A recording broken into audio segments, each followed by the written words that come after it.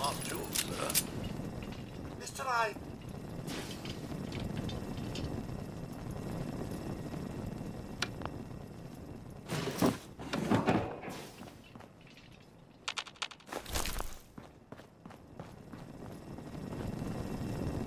Hey, Codsworth.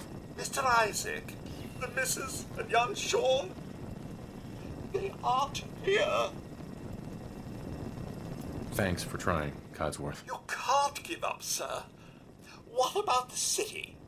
Concord is nearby, and, well, the people there have only shot at me a few times.